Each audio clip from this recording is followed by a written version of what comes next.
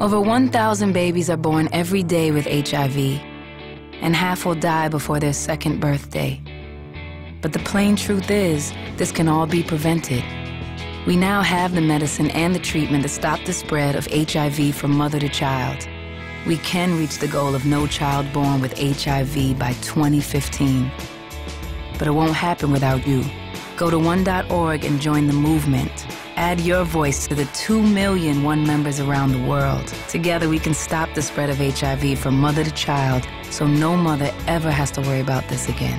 We're not asking for your money, we're asking for your voice. Go to one.org and join us today.